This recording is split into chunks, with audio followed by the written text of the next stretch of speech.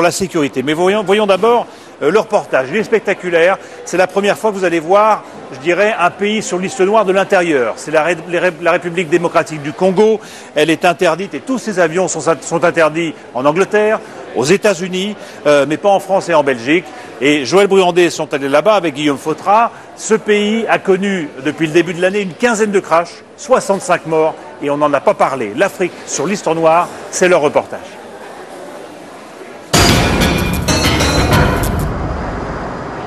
36 000 pieds au-dessus de la France. Nous sommes à bord d'un Lockheed Tristar de la compagnie Ewabora Airways, une compagnie africaine basée au Congo RDC. Chez Air France, l'âge moyen des avions est de 8 ans. Celui-ci en a 24. Si je vous dis que votre avion est un avion poubelle, ah non, je suis pas d'accord. Pas du tout. Ça vous fait rire ça me fait rire. Écoutez, si j'étais aux commandes d'un avion poubelle, moi je suis père de famille, je ne mettrais pas ma vie dedans. Les 231 passagers en provenance de Kinshasa vont se poser en Europe, à Bruxelles. Pour le commandant Guénézélé, ce n'est pas un avion poubelle, mais pour certains pays, c'est beaucoup moins sûr. Cet avion ne pourrait pas atterrir en Angleterre ni aux États-Unis car dans ces deux pays, tous les avions immatriculés en République démocratique du Congo sont sur liste noire. Le Lockheed Tristar n'est plus produit depuis 1983. Mais pour le commandant de bord, la fiabilité d'un avion n'est pas une question d'âge. Le B-52, il est de quel âge? C'est un avion qui a plus de 30 ans également, qui vole encore. Le C-130, c'est un avion de plus de 30 ans qui vole encore.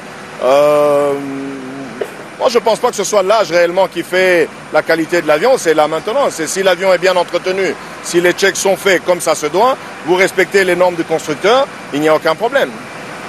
Pourtant, même bien entretenu, cet avion risque un jour d'être interdit partout en Europe. Tout simplement parce qu'il vient du pays où volent certains des pires avions au monde. Six fois plus d'accidents aériens qu'en Europe. L'Afrique détient même, en la matière, le record mondial. Lors de notre reportage en RDC, quatre avions se sont écrasés en seulement huit jours. Bilan, 28 morts. Le directeur de l'aéroport de Goma nous emmène sur les lieux du crash de la veille, près de la frontière avec le Rwanda. Ce petit appareil s'est écrasé au beau milieu d'une bananeraie quelques minutes après son décollage. Surcharge et pas de moteur. Trois blessés légers, aucun mort. Les rescapés ont invoqué la magie divine. Trois kilomètres plus loin, la visite continue. Deuxième crash à 15 mètres à peine des premières habitations de Goma.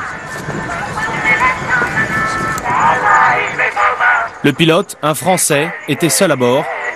Il est mort des suites de ses blessures. Les accidents doivent inquiéter parce que chaque fois qu'il y y a perte de vie humaine ou de matériel aéronautique, ça nous inquiète.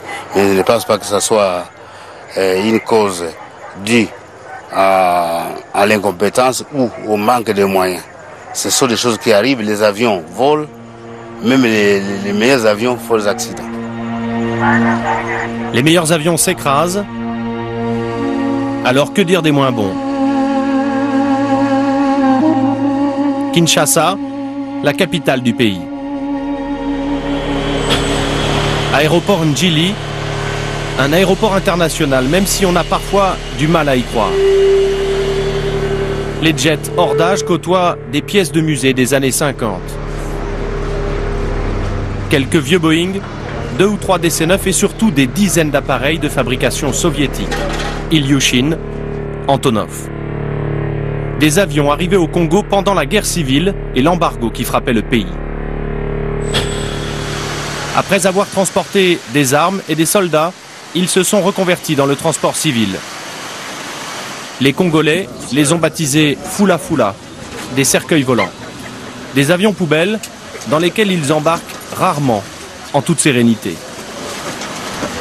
Moi j'ai perdu mon cousin hein, dans cet avion, il a laissé cinq enfants, je dois être nerveuse, c'est comme ça. Mais vous avez perdu, il est perdu dans un accident d'avion Ouais, ouais.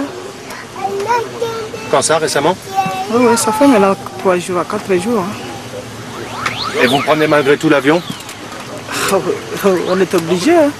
Si vous aviez le choix entre cet avion et un avion plus prendre- récent, je- ah, bien, bien entendu, je pouvais prendre même un taxi où s'il y avait des routes, mais il n'y en a pas. En ce moment, qu'est-ce que vous voulez? Pour ce pays de 60 millions d'habitants, pas moins de 51 compagnies aériennes. La plupart ne possèdent qu'un seul avion, deux tout au plus.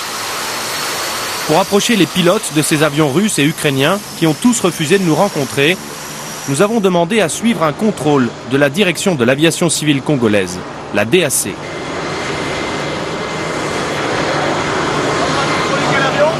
On va contrôler euh. Là, c'est hôtel Bravo, Ilushin 18. Ilushin 18 18 UDCA.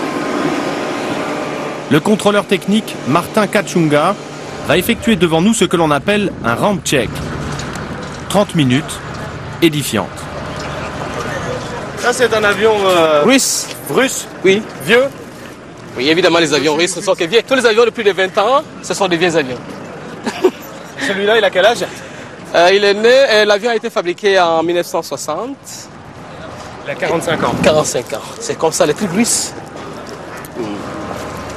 En Europe, la durée de vie moyenne d'un avion est de 25 à 30 ans.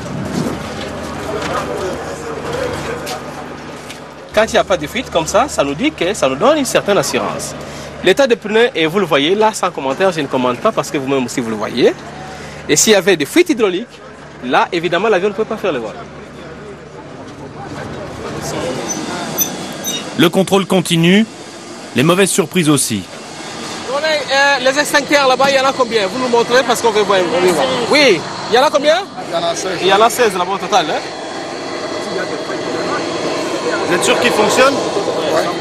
Oui, c'est sûr et certain. oui, c'est écrit en langue russe là, ouais, nous avons une difficulté par rapport à ça. hein. Il y a, il y a Mais la date d'expiration. la date d'expiration qui est 5 là. ans après, on change. On 5 change. ans après, on change. Et la date d'expiration, c'est... Mais bon, vous saurez lire ça, c'est passé en, en Russie là. Et c'est en russe Oui. Euh, on peut aller chez Mali là parce qu'il va marquer. Pour les responsables de l'aviation civile qui supervisent ce contrôle, nous en avons assez vu. C'est possible à l'intérieur avec vous On nous propose d'aller voir un autre avion, mais nous insistons. Remettez l'escalier. Nous allions manquer le meilleur. Les passagers sont déjà à bord. L'avion était sur le point de partir. Plus loin dans le cockpit, un pilote russe et un copilote ukrainien. Hein? Aucun ne parle le français, la langue officielle du pays. Et vous parlez un peu anglais, non? Ils parlent à peine trois mots d'anglais. Vous n'avez pas le droit de déranger l'équipage avant le décollage. La licence du pilote est en règle. Il est qualifié sur la machine. Hein? Le Chine 18. Le Chine 18. En revanche, il explique au contrôleur que son copilote, qui est au Congo depuis deux jours, n'a pas sa licence avec lui. Mhm. Donc ça veut dire que là, il n'a pas sa licence. Il, si, place, il il en passe. hein. C'est parti à la RVA d'après ce qu'il me dit. Et il peut décoller comme ça? Non, non, non. Avant le vol, on doit la mettre. Parce qu'il y a le directeur des opérations qui est là. Et personne ne peut la mettre quand on vole sans licence. Hein. Voler sans licence, euh, Vous avez la réputation d'embarquer trop de passagers, trop de fret, et que du coup, vos avions ont beaucoup de mal à décoller. Non, c'est un travail normal en Afrique. Pour moi, c'est normal. Vous n'avez pas peur de voler sur cet avion. Fin du contrôle. On retire aussitôt l'échelle. La licence du copilote n'est pas à bord. Fuite suspecte, extincteur douteux et surtout un copilote qui n'est pas en règle. Au moins trois motifs de clouer l'avion au sol. On peut même l'autoriser de, de se mettre en route là-bas. Certes, ça sera là-bas. Et pourtant, il va s'aligner sur la piste. À quelques mètres de là, nous avons rendez-vous avec Stavros Papayoannou, le directeur des Wabora Airways, la compagnie avec laquelle nous nous sommes posés à Bruxelles. Ok, maintenant on va se mettre euh, en position de la 2-4 sur les avions qui décollent et qui atterrissent. hein. Ce PDG est en guerre contre les Fula Fula, des concurrents qui cassent les prix. Si un jour ses propres avions sont interdits de vol en Europe, ce sera, dit-il, à cause de ces avions poubelles qui qui salissent la réputation du ciel africain.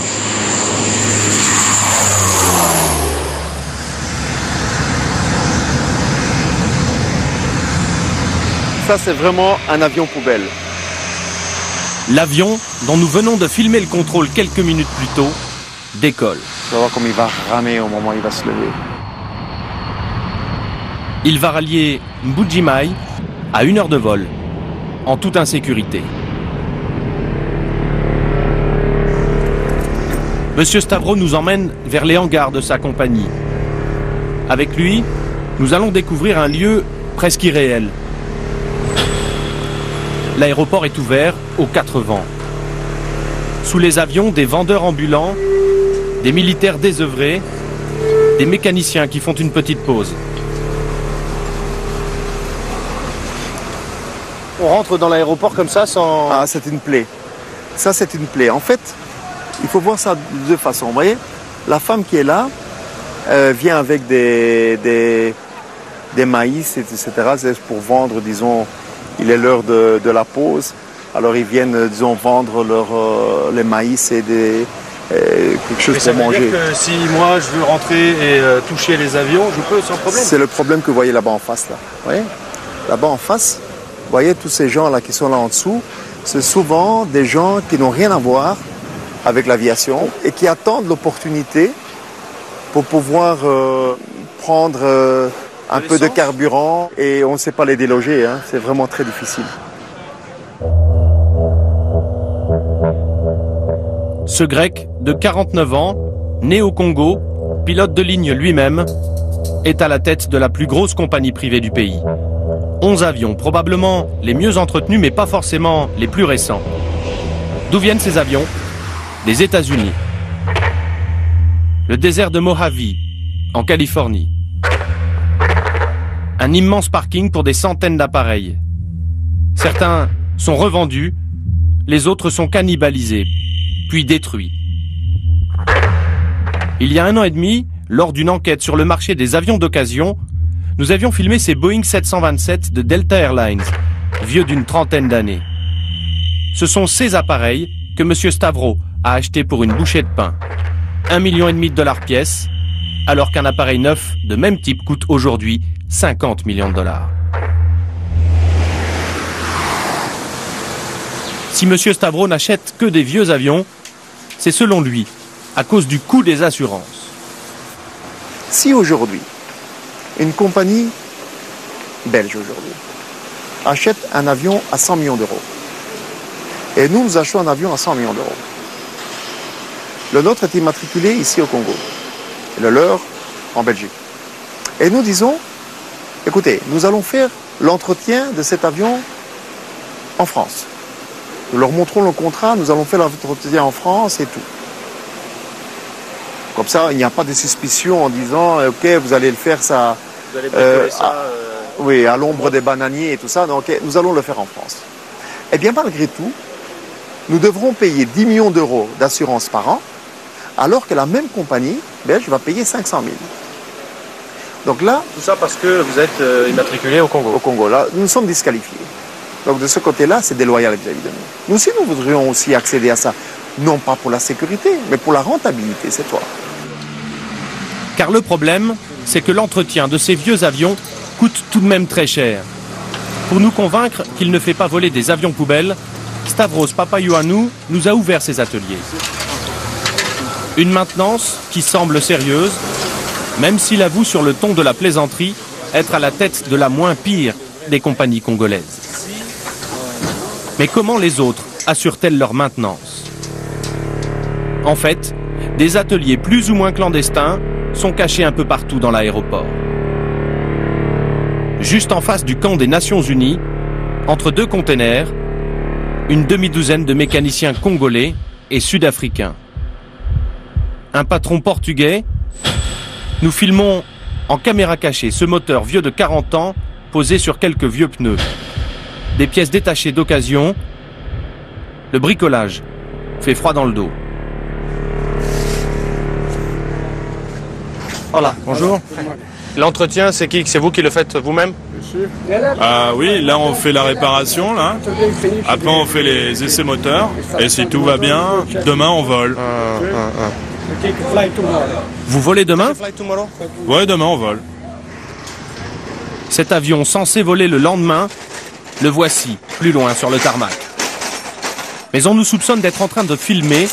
Nous ne sommes pas les bienvenus. Si je t'arrête avec cet appareil, je le prends. Ok? Ouais. Dégagez. À 30 mètres de là, nous croisons le directeur commercial de cette petite compagnie. Il ne se méfie pas et nous explique comment nous pourrions trouver des pièces de rechange pour ce type d'avion. Coucou comme ça, qui va vous vendre les, les- les pièces de rechange. Je peux, si c'est cela qui vous intéresse, vous brancher sur la bonne adresse. C'est qui? Eh bien, allez voir, monsieur. Puis, de là, il fait- il a toutes les pièces. c'est- Pour les électras? Absolument. Mais il en a fait cracher, il en a fait cracher, alors il, a- il garde toutes ces pièces. Hum. Ce n'est pas lui Ah, voilà, qui en a besoin, lui il en a aussi. C'est des pièces d'occasion. Ah, bien sûr, comme lui. Ah bah oui, Mais les mécaniciens viennent l'avertir que nous filmons, le ton monte. Plus question d'aller voir le revendeur qu'il nous a indiqué. Dans quelles conditions ces avions bricolés volent-ils? Nous quittons Ndjili pour un autre aéroport dans le centre de Kinshasa. L'endroit ressemble plus à un bidonville qu'à un aéroport. Nous nous présentons pour acheter des billets, mais en demandant à voyager avec un fût de 200 litres de mazout en cabine et non dans la soute. Pas de problème. Oui, oui, oui. C'est un 5 par kilo, non? Un 5 par kilo. majoré de 25% du prix payé parce que la DAC va nous quelque chose sur le transport, le trafic. Moyennant 80 dollars supplémentaires, on nous promet Ah, que l'aviation civile Euh. fermera les yeux sur ce transport hautement dangereux. Si on paye les 25%, on est tranquille. il y a- Corruption, maintenance douteuse, la RDC est bien loin des règles de base en matière de sécurité aérienne. Avec 15 crashs et 65 morts depuis le 1er janvier dernier, les autorités aéronautiques et surtout les politiques ont été mises en cause. Car il y a un problème. La plupart de ces avions poubelles appartiennent en fait aux politiques et aux officiers supérieurs de l'armée. Est-ce pour cela que les avions poubelles ne sont pas interdits de vol? Réponse du ministre des Transports. Mais nous, quelle que soit la personne qui utilise ces Antonov, dès lors que, euh, ou euh, n'importe quel avion, dès lors que tel avion ne répond pas aux normes, nous prenons la décision sans considérer le, euh, la, la- personne qui, qui est propriétaire, sans, sans considérer son rang. Non, nous, nous voulons euh, que la loi soit appliquée à tous et que euh, tout le monde puisse s'y conformer. Moi, ce que j'aimerais en tant que ministre des Transports et des Communications, c'est que la RDC ne soit pas sur une liste noire, qu'elle soit sur une liste blanche. Ça, c'est mon objectif. Que la RDC soit sur une liste blanche. La noire ne m'intéresse pas. Merci. Forcé de réagir, le gouvernement a tout de même publié, il y a dix jours, sa propre liste noire. Une mesure spectaculaire. Sur les 51 compagnies du pays, 33 se sont vues retirer leur licence d'exploitation. Le lendemain même de cette annonce, nous étions sur le tarmac avec M. Stavro.